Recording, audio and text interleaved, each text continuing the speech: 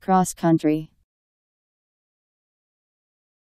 A running sport popular in U.S. high schools, colleges, etc., where participants race over varying terrain e.g., golf courses, roads, etc., in approximately 5 10k races, abbreviated XC.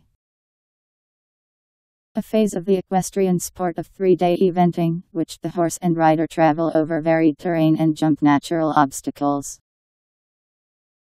Flight between two points or aerodromes using navigational techniques. C R O S S C O U N T R Y. Cross country.